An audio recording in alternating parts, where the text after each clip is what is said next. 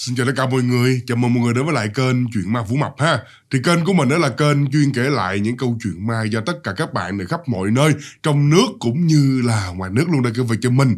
Thì nếu mà các bạn nào đã có những câu chuyện ma muốn kể về cho mình để mình kể lại cho tất cả những bạn khác cùng nghe đó Thì mọi người hãy gửi về cái email của mình tên là lâm sơn hoàng vũ a còng gmail.com Còn nếu không các bạn cũng có thể là gửi về cái số zalo của mình ha.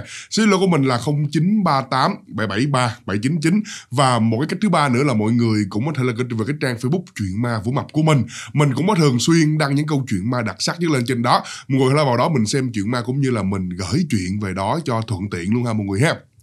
Um, và còn nếu như bạn nào mà vừa mới biết cái kênh của mình lần đầu tiên đó thì các bạn cũng có thể là bấm đăng ký cũng như là bật chuông để ủng hộ cho mình nha. Bởi vì mỗi một lượt đăng ký của một người như vậy đó mình sẽ tự quy đổi ra một ngàn đồng trên một lượt đăng ký. Và tất cả những số tiền số tiền đó mình sẽ gom góp lại để mình đi giúp đỡ những hoàn cảnh này khó khăn à mọi người ha. Thế rồi bây giờ là mình sẽ vào cái tiết mục đầu tiên là mình sẽ đọc tên những bạn đã comment ở tập à, 1233 ngày hôm qua. Để tập 1233 ngày hôm qua các bạn mà comment được nhiều người yêu thích nhất đó, đó chính là bạn tên là Lê Trường Khả. Còn các bạn ngày hôm qua mà comment sớm nhất đó chính là bạn tên là Nguyễn Hữu Hiệp. Cảm ơn Nguyễn Hữu Hiệp rất là nhiều và cảm ơn Lê Trường Khả rất rất là nhiều luôn nha.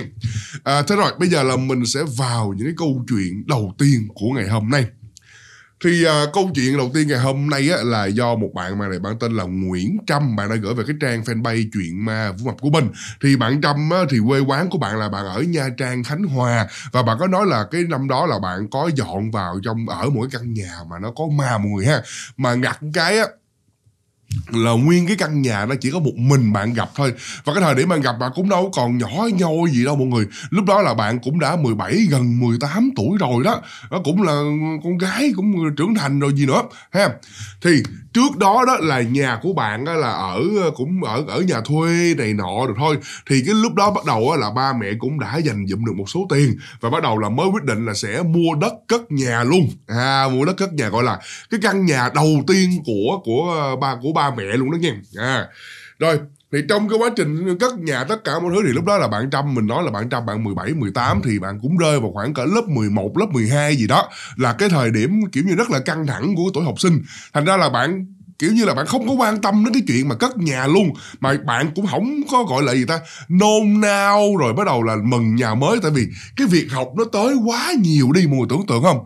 Đó thành ra là bạn à, cũng ở nhà bạn học hành như bình thường thôi ha. Còn cái nhà mới thì ai xây ai làm như đó làm đó là chuyện của người lớn thì rồi à, trong vòng khoảng chừng cỡ hơn 3 tháng thôi là cái căn nhà đó thì nó cũng xây đã xong rồi. Nhưng mà cái lúc đó là bạn cũng lại cái căn nhà nó vừa xong đó là bạn cũng trùng hợp đó là bạn rơi vào trong cái cái cái cái, cái quá trình mà đang ôn thi luôn. À ôn thi để um, à, tốt nghiệp lớp 12 rồi bắt đầu là à, cao đẳng đại học gì đó đó là nó rất là căng thẳng luôn. Những người nào đã từng học lớp 12 cuối năm rồi mùa sẽ biết ha. Nó thành ra đó bạn nói là thật sự cái lúc đó không biết á bạn nói như vậy nè tại vì bình thường từ nhỏ đến lớn là bạn không gặp ma đâu. Đó và con người của bạn bạn cũng vô tư vô lo lắm kìa. Nhưng mà không biết có phải tới cái lúc đó từ cái cơ thể của bạn là nó cũng bị suy nhược. Tại vì học hành rồi đi phải chạy xe nữa nha phải, phải, phải, tự chạy xe đạp điện đó. Chạy lên trường này trường kia lấy tài liệu rồi bắt đầu qua bên đại học bên này là cao đẳng bên kia nộp tùm lum tùm lá trên á. Đó mà trời nắng chang chang ở ngoài nha trang trời đôi khi nó cũng nắng lắm chứ bộ. Đó là vừa mệt mỏi về gọi là thể thể chất. Còn về cái tinh thần á thì nó lại rất là stress luôn. Học hành rồi, rồi bắt đầu là tương lai tương lộng này nọ đồ nhiều dữ lắm. À, nên bạn nói là chắc có thể như vậy thành ra là bạn mới gặp ma hay sao đó. Bạn nói như vậy là cái hôm đó là cái hôm tân gia. À cái hôm đó là cái hôm tân gia thì bạn nói là là à, bạn cũng ngồi cũng chơi chơi chút xíu thôi. Bạn cũng đi vô phòng bạn học mà nói chung bạn cũng hời hợt lắm. Thì cái lúc đó đó là nhà bạn xây như vậy nè. Ở dưới tầng trệt đó là sẽ là một cái chỗ để mà để thờ. Rồi xong mà bếp rồi phòng khách rồi toilet thì đó đâu ha. À bắt đầu lên tầng 1 á, là phòng của phòng phòng của ba mẹ là nhà bạn là bạn ở tầng 2 và ở trên tầng trên cùng á, thì lại là một cái phòng karaoke. À là phòng karaoke tuốt ở trên đó như vậy.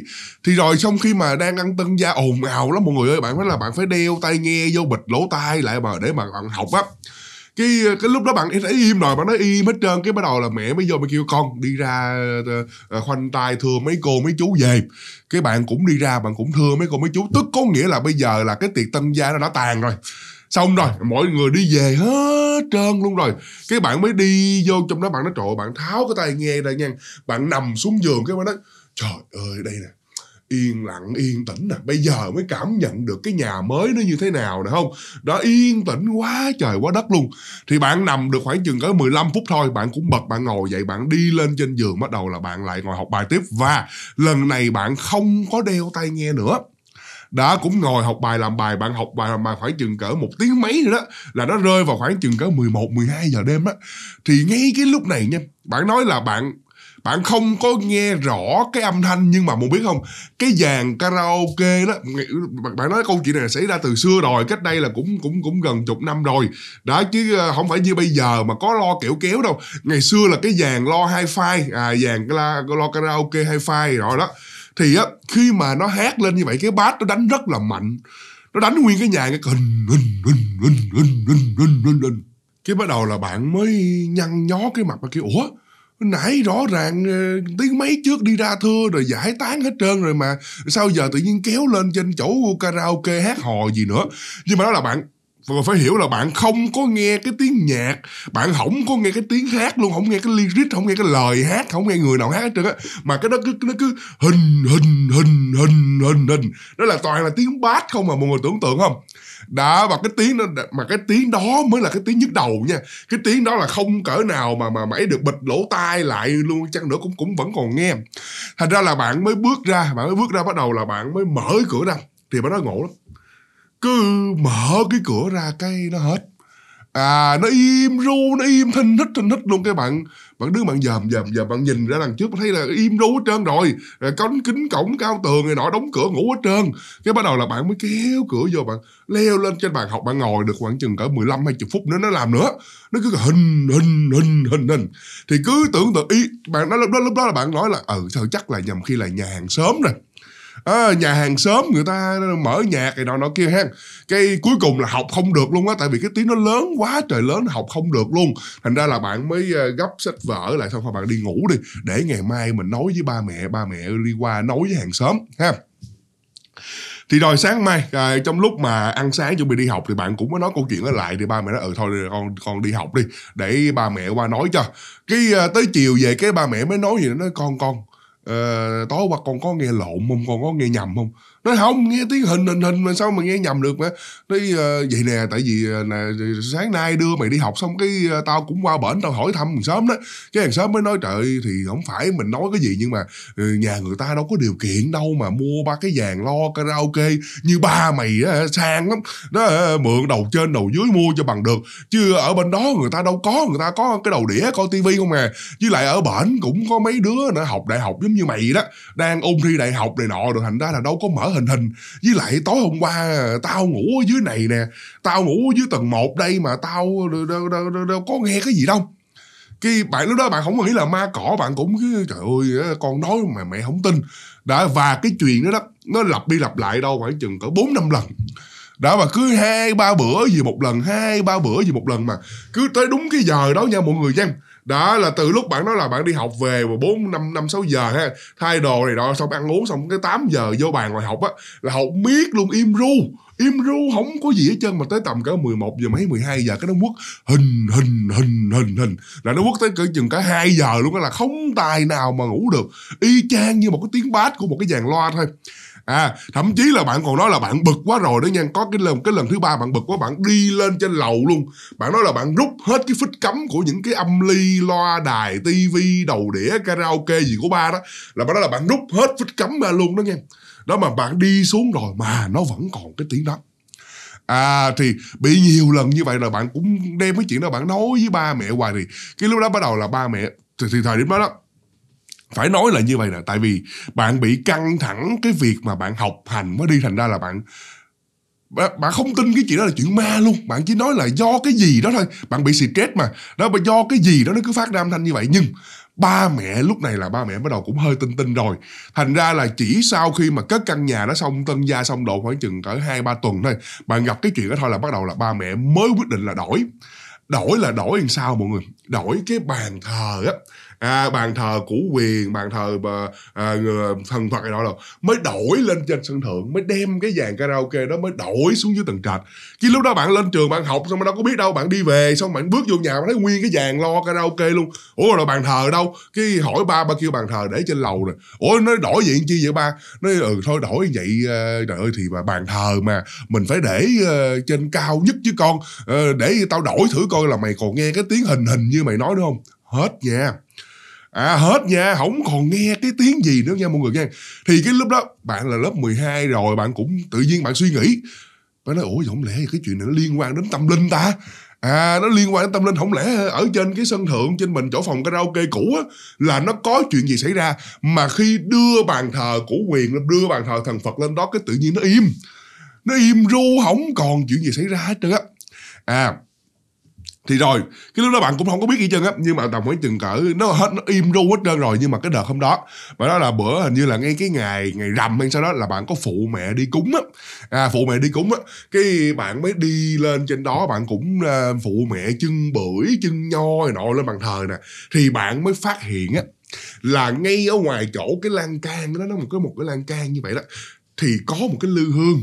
À có một cái lư hương mà à, để chống quơ chống quắc như vậy đó thì bạn đâu có biết đâu. Bạn mới giọt miệng bạn hỏi mẹ bạn thì mẹ bạn lại cái thái độ rất là kỳ.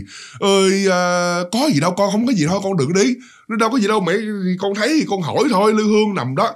Cái mẹ bà bà nói một câu gì nè. Thì uh, có cái lư hương đó thì mày mới uh, uh, hết nghe cái tiếng hình hình hình đó mày ơi. Thôi không có gì đâu phụ tao đưa cái bưởi lên giùm cái coi đã thì vì cái câu nói đó thì bắt đầu là bạn mới tin vào cái chuyện mà hôm bữa mình gặp là cái chuyện về tâm linh rồi. Ai đó quậy phá bạn rồi. Đã, rồi thôi, đó chỉ là một cái mẫu chuyện nho nhỏ như vậy thôi. Chưa có thấy con ma đúng không? Bắt đầu qua đến cái câu chuyện thứ hai. Đã cũng trong cái căn nhà này luôn. Cái lúc đó bạn nói là bạn đã thi cử xong rồi và lúc đó là bạn đó là bạn không có lên được đại học mà bạn chuyển qua cao đẳng. Đã thì à, bắt đầu là đó là gọi là đời sinh viên luôn nha là sau đó khoảng chừng cỡ vài tháng đến một năm hay sau đó. Thì lúc này bắt đầu là bạn gặp một cái chuyện là nó khá là kinh dị bạn kể cái hôm đó là như vậy nè. À, thì à, lúc mà bạn à, vào cao đẳng rồi năm nhất rồi thì cái thời gian học nó cũng đỡ đỡ chút xíu. Thành ra là hôm đó bạn đi về bạn đi học về thì bạn không có về thẳng nhà luôn. Bắt đầu là cũng gọi là tụ tập bạn bè rồi. À, những cái bạn sinh viên năm nhất này nọ đồ đó. Với lại những anh chị à, năm hai năm ba gặp gỡ nhau để trao đổi kiến thức thì kinh nghiệm đó. Thì à, cũng hẹn nhau ra một cái cái quán cà phê cái chỗ à, ven biển đường Trần Phú ở Nha Trang đó mà. Cái à, cũng ngồi nói chuyện giao lưu chơi bời. Nó, nó ba mẹ không có cấm tại vì bạn ờ, chính đáng mà. Thì tới độ khoảng chừng cỡ 9 giờ mấy 10 giờ đó thì bắt đầu là cả nhóm mới quyết định là sẽ đi ra ngoài chợ đêm. Mà ngay chỗ chợ đêm mà đối diện với lại cái cái gọi gì tâm cái cái um, cái quảng trường nó có cái ờ, tháp tháp trầm hương đó ha. Đó rồi ra ngoài đó ăn hàng nữa ăn hàng tán dốc xong là lúc mà bạn về đến nhà tại vì nhà của bạn là nằm ở trong trung tâm nha trang chứ không gần đường biển đâu. Đó là từ cái chỗ mà tháp trầm hương vô đến nhà của bạn là cũng phải là là ờ, bảy tám cây nữa mới tới thì uh, khi bạn về đến nhà rồi thì bạn khoảng cỡ 10 hơn 11 giờ đó là hơn 11 giờ. Cái uh, vô trong đó xong cái cũng cái lúc đó đó bạn vô được trong nhà rồi bạn vô phòng rồi bạn bạn vô nhà tắm bạn sử dụng nhà tắm mở đèn mở đuốc như bình thường hết trơn á. Tắm rửa thay đồ bận đồ ngủ đi ra là cũng mệt mà tại vì đi đi học xong rồi chiều còn đi chơi một vòng mệt nè. Cái bắt đầu bạn mới tắt đèn hết trơn luôn cái bắt đầu là bạn mới nằm xuống giường thì ngay khi mà bạn vừa nằm xuống giường bạn cầm cái điện thoại ra thời điểm đó là bạn còn uh, xài những cái điện thoại Nokia thôi. Thì bạn cầm nó bấm bấm bấm bấm chút xíu cái bắt đầu là bạn mới cái này nó hơi nhạy cảm xíu bắt đầu là bạn mới nói à sao tự nhiên cảm thấy mắc tiểu? Cái bạn mới sực nhớ nó ừ ờ, hồi nãy ờ, đi vô chổng tắm rửa thay đồ đánh răng xúc miệng rửa mặt mà quên cái chuyện mà đi tiểu. Mà bạn mắc tiểu từ lúc ở lúc mà bạn ngồi ăn ở chỗ mà cái quảng trường tháp trầm hương rồi đó mà về đến nhà thì bạn lơ đễnh tới nỗi mà bảo quên đi tiểu luôn. Mà chuyện này là thiệt nha mình đôi, đôi khi mình còn hay quên đây này chứ đừng có nói là mấy bạn này đúng không? Đó cái ờ, rồi bắt đầu là bạn mới ngồi dậy bạn mới cầm cái điện thoại bạn mới để xuống bắt đầu là bạn mới ngồi dậy xong các bạn mới đi vào trong cái toilet. Lúc đó mọi người nên nhớ là cái phòng của bạn là nó tối thui rồi nha. Tại vì phòng bạn không hề có cửa sổ. Nó tối thui rồi bắt đầu là bạn mới, tại mà mà cái cái cái cái phòng đó là bạn ở là cả năm mấy nay rồi. Thì bạn nói đơn giản nữa là mình chỉ cần mò mẫm mò mẫm chút đỉnh á, bắt đầu là bạn mới đi lại ngay chỗ cái cái tủ quần áo cái tủ quần áo của bạn là cái tủ là loại cũ do ba mẹ để lại cho bạn và nó có một cái cửa là nó toàn kiến không em? Đó, thì đối diện với cái tủ đó chính là cái toilet và kế bên cái toilet như vậy là nó có một cái cầu, nó có mỗi công tắc để bạn mở đèn. Đó, thì bạn đang, trong đầu bạn đang nghĩ là bạn sẽ đi lại ngay chỗ cái công tắc đèn đó, bạn bật cái đèn lên, chỉ vậy thôi.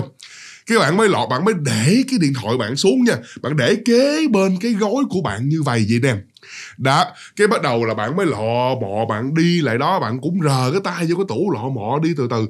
Cái bắt đầu là bạn mới đụng đụng đụng tới, bạn nói là bạn cũng sợ điện giật lắm chứ bạn cũng đụng nhẹ nhẹ nhẹ nhẹ là ngay chỗ cái công tắc đèn. Đó thì bạn mới bật, tạch tạch tạch tạch tạch tạch tạch mà cái đèn nó không có sáng. Thì trong đầu của bạn nghĩ nó ủa không lẽ cúp điện ta? À không lẽ cúp điện sao sao kỳ ta? Nhưng không, cái máy lạnh nó vẫn còn đang hoạt động nó vẫn còn hơi lạnh bạn nhìn qua bạn thấy cái cái cái cái cái đèn led trên cái máy lạnh nó vẫn còn sáng. Ủa mà tại sao cái bóng đèn ở trong cái toilet không lẽ nó bị hư? Đã thì bạn nói thôi thôi kệ bây giờ mình chỉ đi tiểu thôi mà thì bây giờ không có đèn cũng được. Ờ, mình mở cửa mình đi vô mình đi tiểu thôi. Cái bạn mới gờ cái tay xuống ngay chỗ cái tay cầm đó.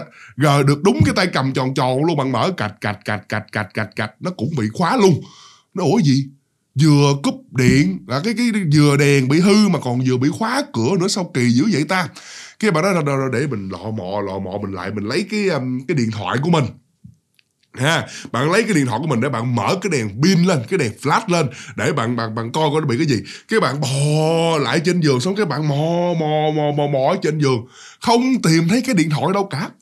Mà bạn nhớ rõ ràng hồi nãy là mình ngồi vậy, mình đi tiểu, mình để cái điện thoại ngay chỗ cái gói này mà, kế bên cái gói này mà mà sao bạn bò mò mò vòng vòng vòng vòng vòng vòng vòng vòng vòng cũng không thấy cái điện thoại đâu. Đó là bạn bị như vậy đó mới nói ôi sao kỳ cục lạ đời vậy ta? Mà bây giờ mắc tiểu rồi mắc tiểu tôi gọi là tới đỉnh điểm luôn rồi. Bạn nói thôi thôi thôi, thôi để mò vô gán mở cửa rồi thì lúc này bắt đầu á là bạn mới đi tới đó xong thì cái một cái tay của bạn bạn mới lọ mọ ngay chỗ cái tủ quần áo mà biết không? Cái lúc đó cái cái tay của bạn á là bạn mới đụng vô trong cái miếng kiến cái cái gọi là cái gương cái gương soi toàn thân đó thì cái tay của bạn bạn mới ịn vô trong cái miếng kiến nó lạnh ngắt à. Cái miếng kiến lúc nào nó cũng lạnh tanh cho á. Bạn mới ịn cái tay vô cái kiến đó. Thì bắt đầu là bạn đang lọ mọ bạn rờ bạn kiếm cái, cái chỗ mà mở cửa. Thì bạn nói nha cái tay bên trái của bạn bạn đang để giống như cái mình nè. Bạn bạn đang để vô trong cái miếng kiến như vậy nè. Cái tay còn lại bạn đang rờ rờ rờ rờ như vậy nè. Thì đó là có một cái bàn tay khác hình như nha tại vì bạn không thấy rõ. Mà nó nói là bạn chỉ cảm giác hình như là từ trong cái kiến đó đó có một cái bàn tay nó lồi trở ra mà nó nắm kiểu vậy là mọi người tưởng tượng nhìn màn hình nha. Cái, cái tay bạn đang ịnh như vậy đúng không? Còn cái tay còn lại nó nắm nó nắm vô cái tay bạn kiểu vậy nè. À là nắm vô như vậy là nắm vô giữa giữa những cái kẻ ngón tay của bạn mới bóp vô như vậy gì nè. Đó mà bạn nói là trời nó nóng hổi luôn nha. Chứ không phải là nó lạnh đâu mà nó nóng hổi như vậy là bóp vô cái bạn giật mình vậy chứ. Cái bạn mới mới mới đục cái tay lại thì khi mà khi mà bạn nói là bạn bạn bạn bạn bạn, bạn rụt cái tay lại như vậy rồi bắt đầu là bạn bạn điếng hồn rồi bạn nói ủa sao sao sao ai mới vừa vừa vừa nắm vô cái cái lòng bàn tay của mình? Bắt đầu bạn mới lùi lùi lại. Thì lúc đó bắt đầu là bạn mới quyết định đó là bạn sẽ đi lại ngay chỗ mà cái cái cái cái cái, cái công tắc đèn á. À cái công tắc đèn mà đèn chính trong phòng của bạn đó nha. Bạn mới đi lại đó bắt đầu là bạn mới mở à bạn mới mở mở mở mở mở, mở đèn lên như vậy nè. Mở không được luôn bạn nói bạn, tại vì chính lúc đó cái cái bảng công tác của bạn bạn nói là nó khoảng chừng tới ba bốn nút gì đó, đèn trần, rồi đèn ngủ, rồi đèn à, đèn đèn trắng này nọ rồi bật cũng không được luôn. Sợ nha, hoảng loạn nha, bắt đầu là bạn mới mở cái cửa phòng của bạn mà vẫn mở không được luôn. Nó cứ cạch cạch cạch cạch cạch cạch như vậy là trời ơi, bạn nói là bạn điến hồn. Nhưng mà ngay lúc này bắt đầu á là cái điện thoại của bạn nó reng lên. À cái điện thoại của bạn nó reng lên. Bạn mới khi, khi mà cái điện thoại bạn nó reng lên như vậy đó thì bạn thấy là cái điện thoại nó vẫn còn nằm trên giường. Nó vẫn còn nằm ngay chỗ cái gói đó chứ không đâu trên mà rõ ràng hồi nãy mình rờ thì lại không thấy ha cái bạn bay là bạn chụp cái điện thoại thì bạn thấy là mẹ bạn gọi bạn không hiểu sao từ giờ này mẹ bạn gọi. Chắc là nhầm khi là mẹ bạn nghe bạn lục đục bên đây đó cái bắt đầu là bạn mới bấm bạn bạn bạn bấm bạn nghe. Thì khi bạn đứng mà ngồi tưởng tượng nha bạn mới bấm điện thoại bạn nghe như vậy nè alo mẹ ơi mẹ. Mẹ ơi con bạn, bạn nói bạn không có nhớ rõ là mẹ bạn nói cái gì. Nghe nói là hình như là con ơi làm gì mà mà mà ở dưới ở ở trên lầu lục lục lục lục vậy? Kiểu như vậy đó. Thì bác nói dạ mẹ ơi ghê quá mẹ ơi. Thì trong lúc mà bạn đang cầm điện thoại như vậy nè cái con mắt của bạn bạn vô tình là bạn nhìn ngay chỗ cái miếng kiến toàn thân á. Vô tình thôi chứ không phải là bạn cố bạn giờ bạn cứ dạ dạ mẹ ơi ờ, con con mới con mới bị gì ờ, không không có đèn nè. Thì đang nói có mặt bạn nhìn vô trong cái miếng kiến như vậy nè bạn thấy rõ ràng nguyên một cái cô gái luôn. Mà không hiểu sao nữa nha. Cái người của họ sáng trưng à bạn này bạn nói gì đó. Không hiểu sao cái người đó họ sáng trưng. Bạn nhìn rất là rõ luôn là hai tay, hai chân luôn nha. Đứng ở trong cái gương á đứng ở trong cái gương á mà cúi cái đầu xuống mà tóc xõa xuống, đương nhiên là một cái bộ đồ avatar của con ma đó là nguyên một cái đầm, mà nguyên một cái đầm dài màu trắng như vậy. Mà đứng ở trong gương như vậy đó, mà thậm chí bạn còn thấy bạn đang, kiểu như là, cái gương nó còn phản chiếu lại bạn. Tại vì lúc đó bạn cầm cái họ bạn nghe gì nè mà này cái màn hình mà nó sáng sáng lên giống gì nè, thì nó chiếu vô cái mặt của bạn giống vậy nữa không? Đó là bạn còn thấy bạn phản chiếu bạn trong gương, và cái người phụ nữ đó họ đứng ngay kế bên bạn như vậy luôn vậy đó. Trời bạn nói bạn điên hồn nha Thì bắt đầu là bạn mới la Mẹ ma, ma mẹ ơi ma, ma. Bạn mới la trong cái điện thoại như vậy. Thì bạn nói bạn vừa la là bắt đầu là bạn phóng lại chỗ cái cửa lên Mà bạn vẫn không mở cửa được thì trong lúc mà bạn đang mở cửa là bạn nghe từ ở dưới lầu á, là bắt đầu ba mẹ là đục đục đục đục chạy lên chạy lên. Thì nghe mẹ bạn la nói mẹ lên nè, con ơi, trâm ơi trâm ơi, mẹ nè mẹ nè. Ba mẹ lên liền, ba mẹ lên liền. Đó, bạn nghe. Thì lên tới bắt đầu là mới mở cửa ra, ba ông mở cửa cái cạch là cái cửa nó bung ra thôi. Thì cái cửa vừa bung ra là cái đèn nó cũng sáng lên luôn á tại vì hồi nãy á, là cái công tắc nó đã để trong cái chế độ sáng rồi mà chẳng qua không hiểu tại sao cái đèn nó không sáng thôi nhưng mà bây giờ vừa cái cửa vừa mở ba mẹ vừa xuất hiện là đèn trong phòng là sáng trưng hết trơn. Trời bạn nói bạn ôm mẹ bạn khóc lóc trong và va. Đái quần. nói bạn trong bạn cũng ngại lắm nhưng mà thôi có sao nói vậy? Tại vì cái lúc đó là đang kiểu giống như là nước sắp tràn bờ đê rồi mà gặp con ma như vậy thôi cái đê nào mà chịu nổi là tràn luôn đó. À là có giấy quần luôn ha xong cái uh, lúc đó cũng ôm mẹ khóc um sùm trời đất hết trơn.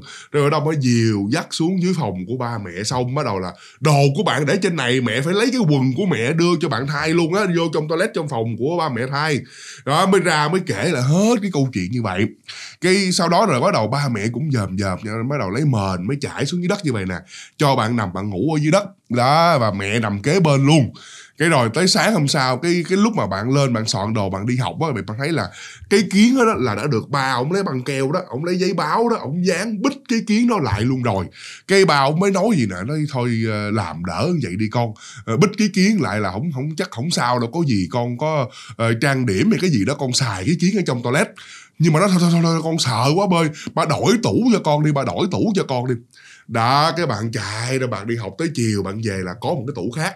Nhưng mà cái tủ nó rồi rẻ tiền thôi. Cái tủ bằng nhựa bằng bằng bằng, bằng nhựa này nọ bình thường là cái tủ mà của ở gì duy tân hay là nhựa thành nhựa long thành gì đó mùi ha. Đó là cái tủ nhựa nhiều ngăn như vậy thôi.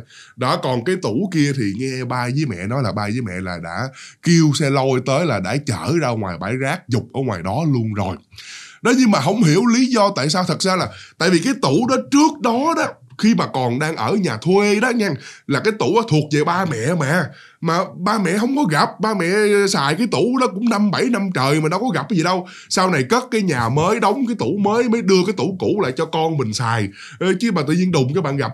Nên thành ra phải nói cho đúng á, là cái chuyện con ma ở trong cái tủ quần áo là không đúng, không phải. Chẳng qua là tới một cái ngày, cái giờ bạn hợp dông hợp vía thì bạn gặp cái chuyện nó chọc như vậy thôi. Và nói cái căn nhà đó có ma cũng không đúng luôn. Là bởi vì ba mẹ ở đó cũng không ai, cũng không gặp. Rồi người ngoài, người lạ đi vô đôi khi khách khứa ngủ lại một hai đêm cũng không gặp gì hết. À, chung quy lại chẳng qua là do bạn trâm này bạn quá yếu vía thì bạn mới gặp cái tình trạng như vậy thôi. Đó thì rồi sau đó cái bắt đầu là ngoài cái chuyện mà đổi tủ ra rồi bắt đầu là còn dán ờ, không có đi thầy đi bài gì cả mà chỉ làm những cái cách dân gian thôi. Gương chiếu yêu rồi xương rồng chân gà rồi lấy tỏi rồi lấy dâu tầm ăn đó, đó để tùm vòng vòng vòng vòng vòng trong nhà. Thì bắt đầu từ đó bắt đầu là mới hết ha mọi người ha.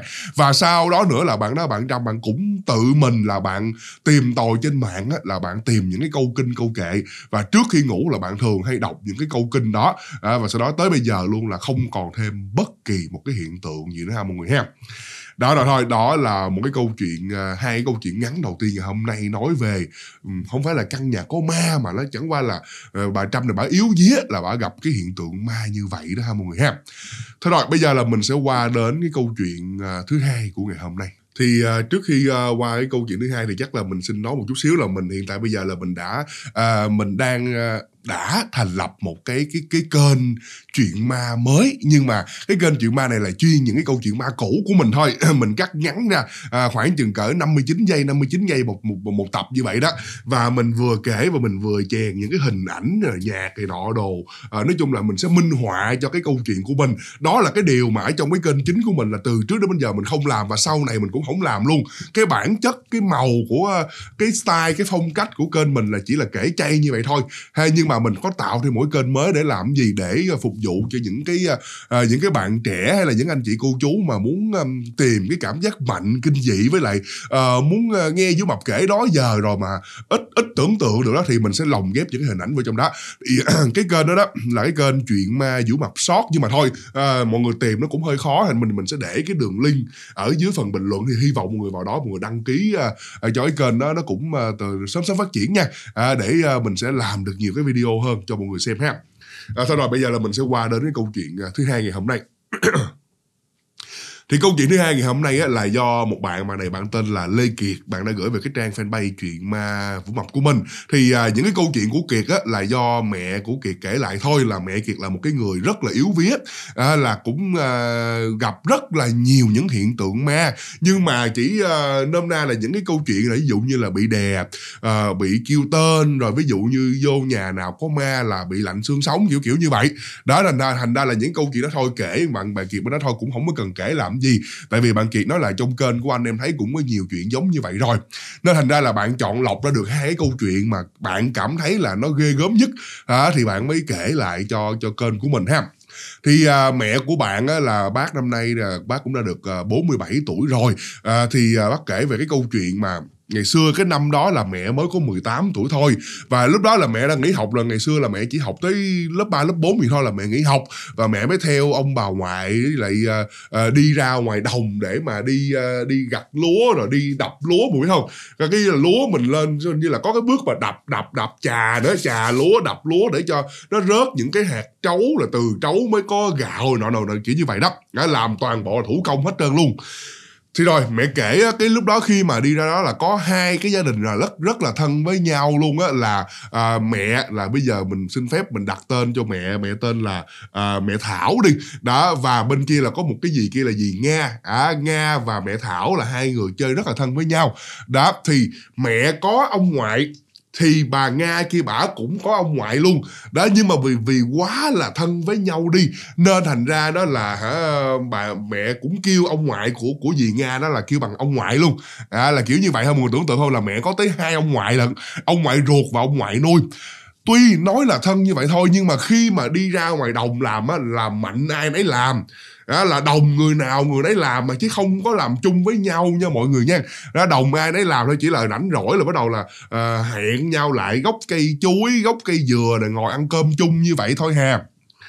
Thì rồi đó cái ờ, cái cái cái cái cái lần hôm đó như vậy thì bắt đầu á là cả nhà mới nghe một cái tin buồn là ông ngoại của dì nga đó là có bị trúng gió và có qua đời ở ngoài ruộng luôn.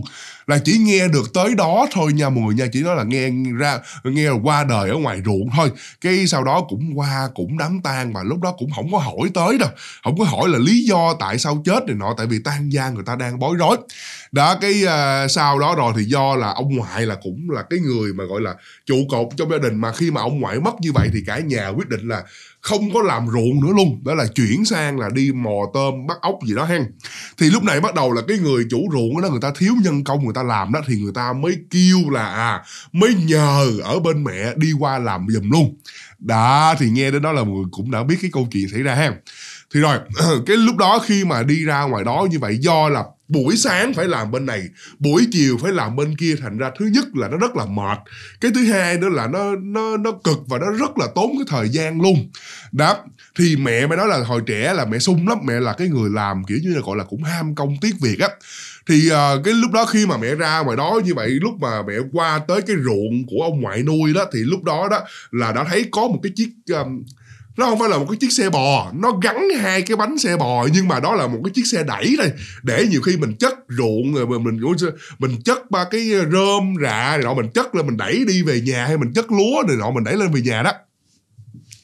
Thì uh, mẹ đã chú ý cái chỗ rồi ha bắt đầu mới làm uh, mới gặt này nọ rồi xong bắt đầu tới khoảng chừng cỡ gần 4 giờ bắt đầu là tới cái bước gọi là đập đập lúa đập lúa đập lúa như vậy nè thì mẹ mới ngồi lên trên cái chiếc xe luôn. À mẹ mới ngồi lên trên cái xe đẩy đó mà ngồi mà đập đập đập như vậy cũng chưa có chuyện gì. Thì đập tới khoảng chừng cỡ 5 giờ mấy trời cũng hơi ui ui ui đó. Cái bắt đầu là à, ông ngoại mới kêu ông ngoại ruột á mới kêu nó thôi à, hảo ơi thôi thôi dậy được rồi đủ rồi để à, dẹp đi rồi ngày mơi rồi đi đi ra rồi làm tiếp. Ở đi về nhà coi rửa tay rửa bọng để ăn cơm chứ tối thu tối hù không thấy đường làm thì lúc đó mẹ nói là mẹ đang đập dở tại vì mẹ nói là mẹ còn đập đâu khoảng chừng cỡ 10 15 phút mới thôi là nó xong rồi. Thành ra là mẹ mới kêu thôi thôi ờ, uh, tía với má để coi về trước đi nấu cơm đi để con đập cho xong cái mớ này là con con con chạy về liền. Tại vì từ cái ruộng nó về nhà nó đổ khoảng chừng cỡ ờ, vài trăm mét thôi là, là đi bộ về chút xíu à. Cái uh, bắt đầu là tía má mới về ông bà ngoại mới đi về như vậy thì chỉ còn một mình mẹ đó là ngồi ở đó thôi thì mẹ nói là mẹ đập mẹ đập cũng xong xuôi hết trơn luôn rồi. Cái tự nhiên mẹ nói là mẹ tính là mẹ mẹ không có hề gọi là mệt mỏi gì cho lắm đâu nha. Nhưng mà mẹ nói là cái lúc mà mẹ đứng vậy mẹ tính mẹ phủi cho nó ba cái à, ba cái trấu này nọ đổ rớt khỏi người là cái tự nhiên mẹ nói là sao tự nhiên mẹ buồn ngủ quá trời à. Mẹ buồn ngủ dữ dằn buồn ngủ luôn đó nghe. Cái bắt đầu mới nói thôi giờ uh, mình nằm xuống đại cái chỗ mà cái xe đẩy mà. Nó có cái cái phản như vậy nè. Thôi để mình nằm xuống đỡ, mình nhắm mắt chút xíu chứ bây giờ tự nhiên sao cái buồn ngủ ngang xương trời, cái bắt đầu là mẹ mới nằm xuống thì mẹ mới lấy cái nón lá đó, mẹ mới ập vô cái mặt đó mà mẹ ngủ, ha. Thì khi mà mẹ đang nằm ngủ như vậy đó, mẹ nói chút xíu hay sao à cái mẹ nghe hình như là có cái tiếng nào đó mà họ búng vô trong cái nón lá à nhà người nào mà có cái nón lá nó nghe là cái tiếng búng vô là mùi nghe nó nghe nó đặc trưng lắm nghe nó bụp bụp bụp bụp bụp bụp bụp đó là cái tiếng như vậy đó. Thì mẹ nói mà đang nằm ngủ mà nghe cái tiếng bụp bụp bụp bụp bụp như vậy. Mới đầu là mẹ mới mẹ mới ngồi dậy mẹ mới ngồi dậy mẹ mới tháo cái nón lá rồi bây giờ nói ai trời đang ờ, ngủ mà tự nhiên ai ờ, búng búng búng búng vô trong cái nón lá vậy ta? Thì mẹ ngồi vậy cái mẹ cũng không có thấy ai hết à, cái mẹ mới nằm xuống thêm lần nữa mẹ nằm xuống thêm lần nữa cái mẹ ngủ được chút xíu nữa, cái bắt đầu là mẹ thấy là cái chiếc xe đẩy nó nhúc nhích luôn. À mẹ nghe cái tiếng mà cái người biết không? Cái bánh xe bò ngày xưa là nó không có cái cái vỏ cao su đâu. Nó là một cái bánh toàn bằng cây không á. Thành ra khi mà nó di chuyển như vậy là nó nghe cái tiếng rất là ồn, nó nghe lọc, cọc cọc cọc cọc, ót ét ét két két két két là nó nghe cái tiếng như vậy đó. Thì đó là hình như là có ai đó đẩy mẹ luôn á, ai đó đẩy mẹ đi luôn đó cái mẹ mới giật mình, bắt đầu là mẹ bật mẹ ngồi dậy thì khi mà nó lúc đó là cái nón lá của mẹ là nó bị rớt rồi, ai đẩy mà đẩy đi cái nón lá nó bị văng đi đó. Cái mẹ bật mẹ ngồi như một cái thì mẹ nhìn qua nhìn lại thì cái xe đẩy nó vẫn cứ nằm im như vậy nè. Và lúc đó thì trời nó cũng tối hù rồi, bắt đầu là mẹ mới đứng, mẹ mẹ đứng, mẹ dòm dòm dòm. Cái mẹ thấy mà cái đống mà hồi nãy mẹ mẹ đập lúa nọ đồ, nó nằm tuốt ở đằng kia cách mẹ độ khoảng chừng cỡ hơn 10 mét. Và cái nón lá nó cũng nằm ngay đó luôn. Và những cái đồ nghề, những cái lưỡi liềm để mà đi gặt lúa nọ, nó vẫn còn nằm ngay đó luôn. Tức có nghĩa là có ai đó đã đẩy cái chiếc xe của mẹ đi 10 mét mà mẹ không biết à mày mày không hề mày nói ủa sao kỳ vậy trời? Ai mà chơi ác ôn chơi kỳ vậy? Cái mày nói, thôi thôi thôi thôi thôi ở đây ờ, chọc phá quá thôi mình đi về. Cái lúc đó là mẹ vẫn chưa nghĩ là ma mà nghĩ là cái người nào đó họ chọc phá mình thôi. Cái mẹ mới ngồi lại, mẹ mới đi lại cái chỗ mà cái cái đống đồ nghề của mẹ đó. Mẹ mới khum xuống lấy cái nón lá mới đội lên trên đầu, bắt đầu là mới cầm cái đèn, cầm cái rửa nọ đầu đó. Sọt sọt, bỏ túi, bắt đầu là mẹ mới kiểu như là lũ lũ mẹ đi về thì mẹ mới vừa đứng thẳng người đi được chừng cả hai ba bước chút xíu thôi. Cái mẹ mới nghe câu nói như vậy nè. Giỡn với bay xíu mà bay bỏ tao bay đi vậy đó. Trời ơi, mẹ nói bạn nghe cái câu đó một cái rồi nó nghe không có quay lại dòm thôi mà díu díu là coi như là cắm đầu mà chạy. Giọng đó là giọng của ông ngoại nuôi giọng của ông ngoại bà bà bà, bà nga đó là tại vì lúc đó hai bên gia đình thân thiết mà. Người, người này mời người kia ăn cơm người kia mời người này ăn cơm qua lại nói chuyện với nhau. Nghe riết cái giọng nó rất là quen đã nhận là ông ngoại nuôi luôn rồi thì mọi người tưởng tượng đi là thân thiết cỡ nào từ nhỏ lớn rồi. Thành ra cái giọng không bao giờ quên được trời ơi đang đi nghe cái câu giỡn bay xíu bay bỏ tao đi vậy đó. Rồi nghe một cái bắt đầu tao nó cắm đầu cắm cổ mà chạy về đến nhà như vậy miếu miếu miếu miếu chạy về đến nhà đó về đến nhà thì ở đây cũng cơm canh cũng dọn ra xong hết rồi, rồi bắt đầu uh, tía má mới hỏi đây mày làm gì mày chạy như ma rượt vậy? Đó thì bắt đầu là là ở đây bắt đầu mẹ mới nhào vô thì mẹ mới kể lại câu chuyện như vậy. Thì khi mà mẹ kể xong rồi cái bắt đầu là trời ơi bà, ông ngoại mới quay qua nói với bà ngoại đó. Nói bà ơi sao ờ, uh, không nói cho nhỏ nghe để nhỏ bị uh, ổng quậy dữ vậy? Rồi tôi tưởng đâu ông nói rồi. Ủa là cuối cùng vụ gì? Thì ra khi mà ông ngoại nuôi mất á ông ngoại nuôi mất trên cái chiếc xe đó luôn. À cái chiếc xe đẩy và bằng hai cái bánh xe bò luôn. Tại vì cái đó là cái xe riêng của nhà của ông ngoại nuôi. À, xe riêng của nhà ông ngoại nuôi như vậy là ông ngoại tự đóng để mà mình mình đẩy lúa đẩy gạo nọ đồ về từ ngoài đồng đẩy về nhà cho nó gần đó mà cái à, cái hôm đó thì à, lúc đó ba ông nghe kể là cái bữa đó là ông ông ngoại cũng hơi sốt sốt bệnh bệnh rồi. Nhưng mà cũng tham công tiếc việc đâu có dám bỏ đâu cái đi ra làm. Cái tới trưa trời trưa trời cũng nói là y chang như là bà là là, bà cái cái tánh của bà thảo luôn vậy đó là mẹ đó đó là cứ ờ, con cháu kêu thôi ba ba về ăn cơm nghỉ ngơi đi chiều vô làm tiếp. Cái ông ngoại ông ngoại nuôi nó mới nói thôi thôi uh, bay về trước đây bay lo cơm canh để tao ngồi tao đập xong cái mới này tao về liền là y chang như mẹ vậy luôn. Đó nhưng mà khác một cái là mẹ nói cái câu đó vào lúc 4 giờ mấy 5 giờ chiều. Còn ông ngoại nuôi á thì nói cái câu đó lúc 11 12 giờ trưa. Đó cái bắt đầu là cả nhà cũng đi về mình ơn ông ngoại ngồi đó cũng ngồi trên chiếc xe như vậy cũng đập đập hồi cái mệt. À, mệt là mệt. Cái chuyện mà mẹ mệt là do ông ngoại ổng làm sao đó cho mẹ buồn ngủ để mà ổng ghẹo. Chứ còn cái chuyện mà ông ngoại nuôi buồn ngủ là do cái căn bệnh à, bị sốt này nọ rồi nó hành sốt nó bệnh á cái ổng mới nghĩ ờ thôi cũng vậy đó cũng y như mẹ. Thôi để nằm xuống chút xíu nghỉ ngơi chút xíu rồi đi về sau. Mới chụp cái nón lá trên đầu là mới nằm xuống mà lúc đó 11, 12 giờ trưa nắng chang chang gặp có bệnh trong người. Mà nằm giữa đồng nằm trên cái chiếc xe đẩy như vậy nữa nằm một cái một là rồi xong là đi luôn á. Là không bao giờ tỉnh dậy luôn ha mọi người ha? Nhưng cái chuyện mà ông ngoại bị mất trên cái chiếc xe đó đó mẹ không có hề biết đó chỉ có là ông bà ngoại biết thôi, chưa có kịp kể lại chứ mẹ, không có hề biết. Chứ nếu mà mẹ biết thì trời ơi, cho tiền cũng không dám mà nằm ở trên cái chỗ đó nữa. À đó là như vậy mọi người ha thì rồi đó chỉ là một câu chuyện ngắn nhỏ như vậy thôi, sau đó qua ngày hôm sau cái à, mẹ cũng phải đi ra. Cái mẹ nói là mẹ sẽ không có ngồi trên cái xe nữa, nhưng mà mình đang gặp cái mình nhìn chiếc xe mình bị ám ảnh quá, cái chiếc xe đẩy đó. Đó, mình bị ám ảnh mà quên đó nha. Mẹ nói là qua hôm sau khi mẹ qua, mẹ mẹ tới như vậy đó nha, là cái xe lại đi đẩy thêm một khúc nữa đó đó là không như có ai đó là đẩy chiếc xe đi một khúc nữa luôn là là cách cái chỗ cũ cũng phải là chừng cỡ cũng phải là cả cả công đất á cả công đất là độ khoảng chừng uh, vài chục mét thôi mọi người một công nó có vài chục mét ngang như vậy thôi.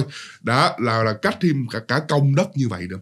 À, mà cái mảnh ruộng là chỉ có nhà của mẹ mới lãnh mới làm thôi chứ không một ai đi vô trong đó được đó lúc đó là mẹ phải đẩy cái chiếc xe đẩy đó mới đẩy thẳng về nhà của ông ngoại nuôi luôn mới đưa lại cho bên uh, dì nga đó. Mới nói nga nga thôi mày giữ chiếc xe đẩy rồi bỏ vô kho mày trả cho ông ngoại mày giùm tao đi. Ủa nói sao vậy? Nói, ờ bữa tao gặp về vậy nè ông ngoại mày về ghẹo tao về vậy thôi ghê quá đi. Thôi giờ cất cái xe đẩy vô. Tại sao người nhà không có đem xe đẩy về cất? Mà phải đợi mẹ đem về cất giùm. Có nghĩa là, tại vì khi mà ông ngoại mất, ông ngoại nuôi mất á, là cả nhà của ông ngoại nuôi đã nói là không có làm ruộng nữa mà. Đó là bỏ luôn, là chuyển qua mò tôm, bắt ốc luôn. Thành ra là không có làm ruộng nữa chiếc xe đẩy thôi, để đó, ai lấy đâu lấy ai mà làm ruộng, ai xài đó là xài, nhưng mà cuối cùng không ai xài được. Bởi vì ông ngoại nuôi giữ của mà. Đã, ông, cái xe là do chính ông ngoại nuôi bỏ tiền ra mua từng thứ từng thứ về đóng ráp vô mà. Thành ra là không có muốn cho ai sử dụng hết ha mọi người ha. Đã, mới đem về, mới cất ở bên đó như vậy ha. Thôi rồi, đó là cái câu chuyện ngắn nho nhỏ mà mẹ kể lại ha. Qua đến cái câu chuyện thứ hai, cũng không có kém phần kinh dị đâu. Lần này là mẹ nói hình mới nói là mẹ chỉ nói chỉ mẹ dùng cái chữ là hình như thôi. Là mẹ nói là hình như là cái lúc đó mẹ gặp, là mẹ gặp quỷ nhập tràng hay sao á. À, theo như mẹ kể đó cái câu chuyện này là sau cái câu chuyện đầu tiên nói về ông ngoại nuôi đó là cũng khoảng chừng cỡ hơn 2 năm. Lúc đó là bắt đầu là mẹ cũng đã 10 10 ờ, cỡ khoảng chừng cỡ 19 20 tuổi. Thì mẹ cũng đã kiểu như là là cũng có quen biết với lại với lại ba rồi. Đó nhưng mà chúng chưa có cưới hỏi gì cả. Thì rồi cái hôm đó bắt đầu là ông ngoại với bà ngoại đó là à, có có nói là sẽ đi qua bên cái tỉnh kế bên để mà đi đám dỗ của một cái người của một cái người quen. Đáng lẽ như bình thường á, là ông ngoại bà ngoại đi á, là sẽ cho mẹ ở nhà để mà coi nhà. Nhưng mà bởi vì lúc này á, là ông bà ngoại biết là mẹ đang rồi là tò te tú tí này nọ với ba. Mà lúc đó thì ờ, ông bà ngoại nói chung là ghét ba lắm không không không không có muốn cho ba mẹ cưới nhau đâu. Không phải là cái chuyện cấm cản mà kiểu như môn đăng hổ đói mà tại vì uh, mình có con gái mà mình phải giữ kiểu như vậy đó. Cái ông ngoại mới sợ là bây giờ đi đám dỗ hai ba bữa về nó ở đây nó làm gì này nọ đồ nó ăn cơm trước kẽn ăn cà lem trước cổng cái à, bụng bầu cái nó chết. Thành ra là ông ngoại mới mới bắt mẹ đi luôn à, mới lôi mẹ đi luôn như vậy ha. Thì à, mẹ cũng đi qua đó cũng như bình thường tới đó cũng à, đám dỗ như vậy thì tối ngủ lạng đêm sáng hôm sau về ha chỉ vậy thôi. Thì à, tôi cái cái nhà đó cũng là căn nhà y như là nhà của dưới quê nhà nào như nhà nào thôi cũng không khác nhau biệt gì đâu. Và cái toilet nó cũng nằm ở đằng sau hè à, chỉ vậy thôi. Rồi thì tối hôm đó bắt đầu là cái người chủ nhà đó mới uh, đưa mùng mền chiếu gói cho ba với uh, cho ông ngoại bà ngoại và với mẹ đó là mới ngủ trên một cái tấm ly văn, à, một cái tấm ly văn như vậy. Thì rồi tối đó cái bắt đầu á là mẹ bà mới mắc vệ sinh ha. Thì như bình thường thôi chui ra khỏi mùng gái lớn rồi đâu cần phải kêu ba mẹ đi chung gì nữa. Cái mẹ mới leo chui ra khỏi mùng cái mẹ mới đi xuống dưới sau hè cái lúc đó khi mà mẹ nói mẹ đi ra đằng sau hè như vậy rồi, lúc này là mẹ thấy rồi, trước đó là mẹ đã thấy rồi, là mẹ thấy là ngay chỗ có một cái cây á, ngay chỗ cái cây vú sữa như vậy. Cái cái cây mà biết không, cái cây vú sữa là cái tán nó rất là bự. Thì ở dưới cái cây vú sữa đó người ta tích hợp, người ta mới, người ta mới làm một cái chuồng gà luôn. Người ta mới làm một cái chuồng gà nho nhỏ nho nhỏ như vậy vậy nè. Thì cái lúc đó bắt đầu là khi mà mẹ đi ngang mà cái nhà tắm á, thì nó lại phải đi qua cây vú sữa đổ khoảng chừng cỡ bảy tám mét gì tới cái nhà tắm ha. Cái à, mẹ mới đi như vậy thì lúc mà tới cái cây vú sữa đó thì mẹ thấy là có một cái người đàn bà. Nhìn nhìn lão quắc lão quơ hình như là cái người này là sáng giờ là không có ở trong đám dỗ hay sao đó. À, là lão quắc lão quơ thôi. À, và nó đứng không có đổi nón lá hết trơn nha cứ đứng im đứng một chỗ mà đứng nhìn vô mấy con gà như vậy vậy nè đó thì uh, mẹ mấy cũng mình cũng là người lạ mà thì mẹ cũng còn nhỏ. Cái bà đó độ khoảng chừng cỡ hơn hơn năm chục rồi năm sáu chục rồi. Cái uh, mẹ mới lên tiếng kiểu như sởi lỡi xã giao thôi. Cái mẹ mới nói ở dạ cô uh, thức khuya dữ hen. À, tại vì lúc đó cũng khoảng cỡ 12 giờ một giờ đêm mà ở dưới quê thường thường ta ngủ sớm lắm. Cái mẹ mới giả sẽ lơi mẹ mẹ nói như vậy cái cái bà đó cũng cứ im ru à và bà đang đứng bà điếm gà bà, bà đang đứng bà, bà lẩm nhẩm bà cái một hai ba bốn năm sáu bảy tám chín à là bà đứng chỉ chỉ như vậy nè. Cái mẹ lên tiếng cái im ru cái mẹ mới nghĩ trong đầu nó trời bà này ỷ làm lớn mà chảnh quá. Ờ, mình lên tiếng mình thưa gửi như vậy rồi không ví dụ như ghét mình thì cũng quay qua gật đầu cái. Trời làm gì đâu im ru. Cái mẹ thôi cũng kệ cái mẹ quảnh đích cái mẹ mới đi vô trong nhà tắm đó. Cái nhà tắm nó làm bằng ờ, cái vách lá bằng cái màn kéo qua thôi thì cái lúc đó khi mà mẹ ngồi ở trong cái nhà tắm, cái nhà tắm nó rất là nhỏ luôn và nó có vách lá thì mùi biết rồi, lâu ngày nó mục với lại mấy đứa nhỏ nó quậy quậy, nó chọt cái ngón tay vô riết đó. Cái nó cứ lỗ lỗ lỗ lỗ lỗ lỗ lỗ lỗ lỗ như vậy vậy nè. Đã cái mẹ đang ngồi, mẹ đi vệ sinh như vậy, cái mẹ mới vừa đặt đích mẹ ngồi xuống thôi là mẹ nghe rồi. Mẹ nói mẹ nghe, qua đây mẹ nghe cái tiếng cái tiếng cười mà cứ cái như là cứ ba tiếng lần, ba tiếng lần cái gì nè.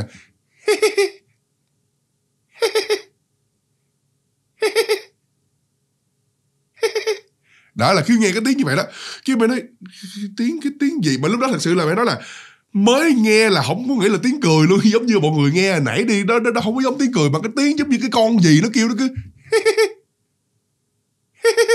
đó là cái tiếng như vậy đó. Cái mẹ cũng nói cái tiếng gì? Sao mà nghe gì nghị ngộ cực kỳ cục vậy ta?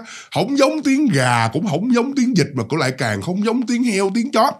Cái mẹ mới đút con mắt ra mẹ giờ trời ơi mẹ nói mẹ đút con mắt ra, mẹ dò một cái nha. Mẹ nói cái bà đó, mà mẹ nhớ rõ ràng là hồi nãy là bà có mặc đồ.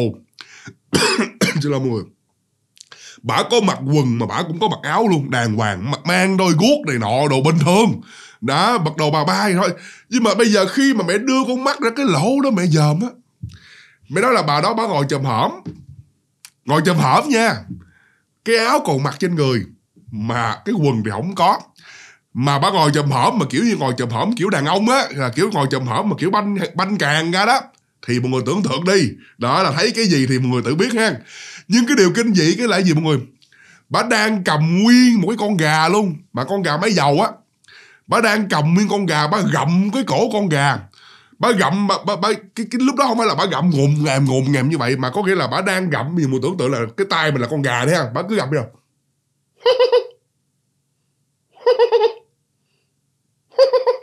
đó là bà cái miệng bà ngậm con gà mà bà cười.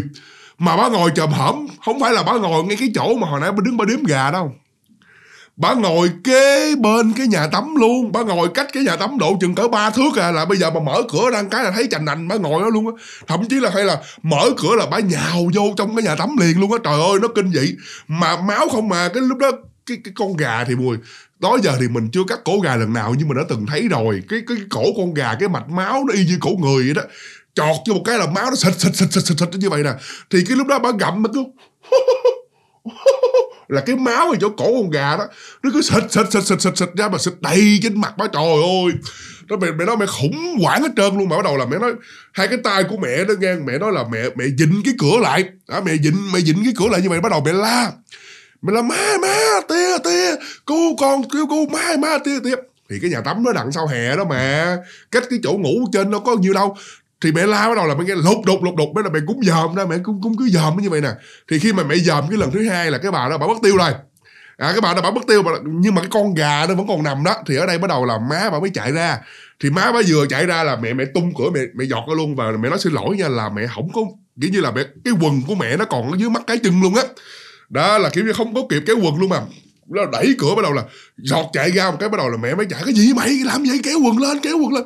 Đó, đây bắt đầu là mẹ mới khum xuống mày kéo cái quần lên mày vừa không ơi ghê quá ghê quá ba ơi, ghê quá. Bắt đầu là mới chạy lại. Đó, thì mới bắt đầu mới đi vô trong đó. Kể lại kể lại câu chuyện như vậy thì lúc đó đó, ông ngoại mới la. Ông ngoại nói bậy bậy qua đây uh, ăn nắm dỗ nhà người ta nói chuyện tầm bậy tầm bạ. Ma quỷ này nọ rồi nói người ta, ta buồn. Đó thì mới nói mẹ mới là mẹ mới tức mình mới nói trời ơi uh, uh, ba không tin tí không tin nó tí ra làm sao nhà tắm kìa. Tí coi kìa con gà nó còn nằm ngay đó luôn kìa. Lại là bác cắn nguyên con gà mấy dậu còn ở dưới đó luôn kìa đó thì cái lúc đó là không cần phải đi ra đâu. Ngồi từ cái bộ liên quan cái cửa sổ đó nhìn ra cái thấy cái nhà tắm rồi. Mà cái lúc đó nãy do gấp gáp mới chạy vô là mẹ quên tắt cái bóng đèn ngày xưa mà còn xài cái dạng như cái bóng đèn mà đèn dây tóc mọi người hát. Nó vàng vàng vàng vàng á, mọi người treo cho mẹ tắm đó. Thì bây giờ nhìn ra một cái thì nhờ cái bóng đèn nó sôi rội xuống là thấy đúng thiệt tình là có con gà.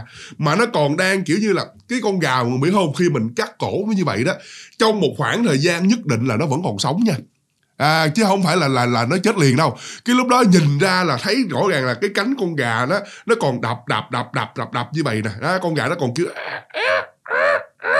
nó kêu gì đó mà cứ đập đập đập đập như vậy đó và bắt đầu máu phúng phúng phúng phúng ra thấy hết trơn như vậy luôn. Đó cái bắt đầu lúc đó là ông bà ngoại mới im. Đã là mới đầu là mới mới mới nằm xuống như vậy ha. Thì rồi cũng uh, nằm xuống uh, ngủ xong tới sáng hôm sau thì cũng thôi cũng đón xe về sớm. Đó thì trước khi mà đón xe về đó thì bắt đầu là ông ngoại cũng ra cũng uh, chào hỏi cảm ơn rồi nọ đồ. Uh, bắt đầu là cũng có hỏi chuyện hay là hay là hay là sao sao đó. Khi mà lên trên xe rồi đó thì bắt đầu là ông ngoại mới nói như vậy nè. Ông ngoại mới nói chắc mày gặp chắc cái bà đó là uh, bà điên bà khùng gì đó mày ơi. Uh, chứ không phải là người chết mà hiện hồn vậy là ma đâu chứ nói hiểu sao ờ, uh, tí nói vậy? Tại vì tao hỏi ra đó thì uh, cái đám dỗ này là cái đám dỗ má của thằng bạn của tao.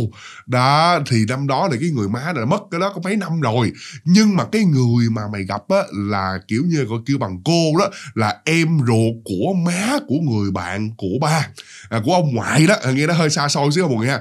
Và theo như bạn của ông ngoại nói là cái người cô đó còn sống còn sống nhưng mà nằm liệt chỗ rồi nằm liệt chỗ nửa tháng nay thành ra là bởi vậy là khi mà lúc đó mẹ tới đám ma ủa mà xin lỗi mẹ, mẹ tới đám dỗ vậy vậy mẹ đâu có thấy cái người đâu. Tại vì cái người đó họ nằm trong buồn họ nằm liệt giường trong đó mà. Thành ra là đâu đâu có đi ra mà chào hỏi này nọ đồ tiếp khách được đâu cứ nằm ở trong đó thôi. Đó thì cái đó là cái chuyện cũng bất tiện thành ra là người nhà người ta cũng không có giới thiệu cho, cho nhiều. Nó sợ phiền. Đó thành ra là mẹ không hề biết cái người đó có hiện diện trong cái đám dỗ nhưng mẹ đã thấy tối hôm đó một cái người nằm liệt giường như vậy mà đêm hôm đi ra đứng tỉnh bơ kế bên chuồng gà đứng đếm gà xong rồi còn ngồi chầm hởm nữa. Ơi ngồi chầm hởm mà, mà, mà cởi chuồng vậy còn, còn cắn cổ con gà như vậy nữa. Thì theo như ông ngoại nói đó thì ông ngoại nói là cái bà đó bà bị khùng bị điên. Đã còn theo như cái kênh của mình mình nó từng kể chuyện ma giống như là mẹ kể lại mẹ nói là cái đó giống như quỷ đó quỷ bị quỷ nhập á, mà sau này thì mãi tới sau này thì mẹ mới biết tới cái từ gọi là quỷ nhập tràng. Đó thì lúc đó thì mẹ mới nói ừ thôi chắc là mẹ đã gặp con quỷ nhập tràng hay sao rồi đó. Đúng y như rằng mọi người cái chừng cỡ đâu chừng cỡ hai ba tuần sau về đến nhà rồi cũng đi mừng ruộng này nọ là bình thường hai ba tuần lễ sau thì bắt đầu cũng ngồi ăn cơm thì bắt đầu ông ngoại em cũng nói. Ông đây uh, ờ, bữa uh, cái bà mà bữa uh, con ấy nó nói với mẹ nó ừ là bữa mấy hai thấy nè uh, bả chết rồi mà nghe nói đâu bả chết gì đâu mà làm đám ma lớn lắm á. Ờ, mời mình xuống mình nói trời ơi bữa mới đi đám dỗ cái đợt đây rồi giờ xuống đám ma nữa. Cái thôi tôi cũng ờ, từ chối khéo luôn rồi. Đó nhưng mà nghe nói đâu là hả người ta cái lúc đó không phải là gọi điện báo đâu mà là người này nói người kia người kia gửi lời từ từ từ từ đó. Cái nói nghe nói đâu gì đâu đám ma mà có uh, uh, sư thầy cũng có rồi thầy pháp cũng có rồi gì múa võ tùm lum tùm la làm bùa làm chú gì đó không biết nữa. Không biết sao tự nhiên đám ma mà làm cho đình đang dữ dằn vậy? Trong khi hôm bữa lúc mà mẹ tới là cái nhà là cũng nhà bình thường thôi. Nhà cũng không phải giàu, có gì làm cái đám dỗ đơn sơ, có ba, bốn bàn đãi quan khách thôi hà. Nhưng mà cái đám ma của người đó thì lại làm rất lớn. Đó nghe đó thầy bùa nọ đầu tới múa kiếm, múa võ tùm lum tùm la. Đã, thì mẹ không có chứng kiến mẹ chỉ nghe kể lại thôi. Nhưng mà uh, theo như kinh nghiệm của mình và theo như kinh nghiệm của mọi người nghe chuyện đây thì chắc là cái bữa đám ma đó cũng chính là cái bữa để mà trục dông trục hồn luôn. Đã trục dông trục hồn của cái cái cái cô đó cái bà đó, đó là bà đã bị uh, quỷ nhập tràng như vậy đó ha mọi người ha đó thôi rồi đó đó cũng là cái câu chuyện à, cuối cùng ngày hôm nay luôn ha mọi người ha. À, do mẹ nó thấy một lần mẹ thấy quỷ nhập tràng như vậy mà nói là trời ơi không bao giờ quên được không bao giờ quên được cái tiếng cười đó luôn nha mọi người nha. Khá là kinh dị luôn đó. Cái lúc đó mẹ nói trời ơi phải cái lúc đó mà bà nhào vô trong cái nhà tắm luôn thì không biết sao bà không cắn cổ con gà mà bà cắn cổ mẹ cái là chắc giờ không có chuyện để kể luôn ha mọi người ha. Thôi rồi mình cũng biết là mọi người sẽ hơi thất vọng chút xíu bởi vì hôm nay là kể cái tập truyện nó hơi ngắn ngắn chút xíu. À, nhưng mà thôi cả nhà cũng thông cảm đi. À, mình cũng đang bị à, nghẹt mũi chút đỉnh đó mọi người ha. À, thành ra là nãy giờ mình kể khổ mình cũng hơi không phải là than vãn nha. Nếu tôi than vãn tôi than vãn ngay từ đầu rồi đúng không? Cái là tôi kể xong rồi tôi chỉ tâm sự cho mọi người nghe thôi. Đó giờ kể xong rồi mà đúng không? Nghe đã rồi giờ tôi tâm sự thì mọi người thương chút xíu thôi à. Chứ không có gì hết trơn đó nghe. Đừng nghĩ trời vũ mập nó kể sướng thấy bà luôn. À, hào quang rực rỡ vậy mà còn than vãn, khóc lóc. Không có, chỉ nói đó là cái lý do biện minh cho cái việc mà mình kể hơi ngắn ngắn thôi nha. Thôi rồi, cảm ơn cả nhà rất rất là nhiều luôn nha. Diễu Phật xin chào tất cả mọi người.